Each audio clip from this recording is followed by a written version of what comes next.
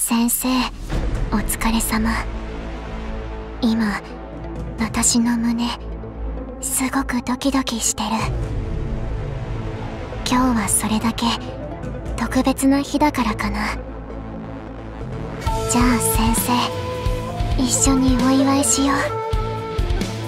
ブルーアーカイブで白子役を担当しております小倉優衣です。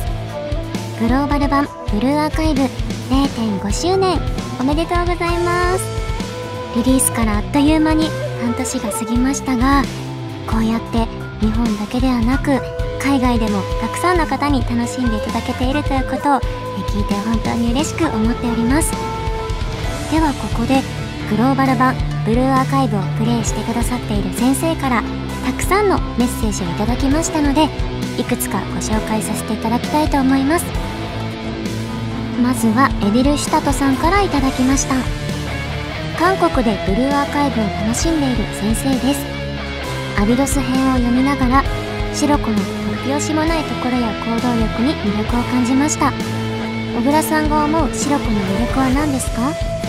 気に入っているセリフがあったら教えてください。といただきました。ありがとうございます。そうですね。私もシロコのあの突然何を言うかわからない、えー、そんな突拍子もない、えー、そのドキドキ感そんな性格彼女の性格はとても可愛らしくて好きだなと思っています、えー、口数はね少ない、えー、子ではあるんですけどもその中にもねこう熱い魂を持っている子なので、え、そんな白子私もすごく、え大好きに思っています、え好きなセリフなんですけども白子はよく口癖で「うん」っていう言葉をつけてあの話すことがあって例えば「うん、予想通り」とか なんかそういうセリフを言うんですけどその「うん」っていう口癖が可愛いなと思っていつも演じています。では続いて、えー、リャンヒョンミンさんから頂きました。ありがとうございます。白子と声優の小倉さんの大ファンです。ありがとうございます。小倉さんは白子を演じる時どんなイメージを思い浮かべながら演じられましたか？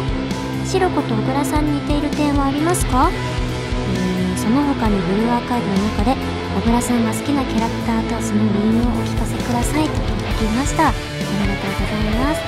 え私と白子が似ている点ですか？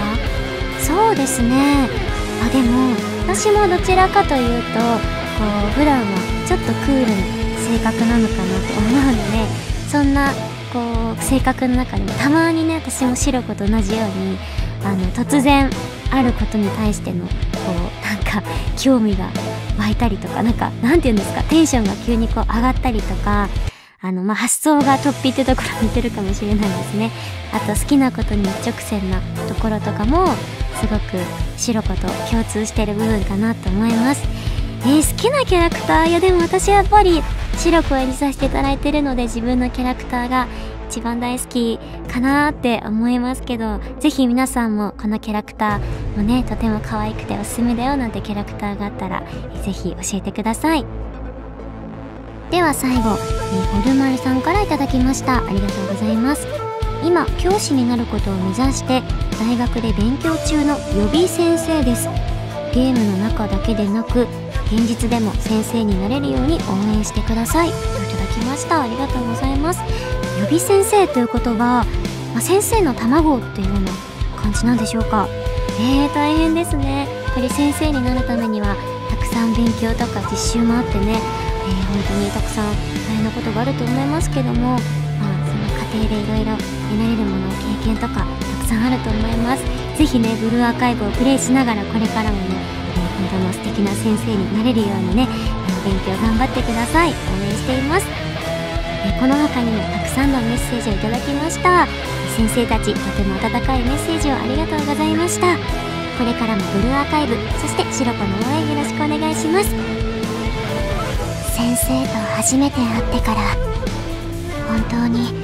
いろんなことがあったよね。先生が遭難しちゃったりそれで私がおぶってあげたり。それからこれからも私とそして対策委員会と一緒にたくさん思い出を作ろうね先生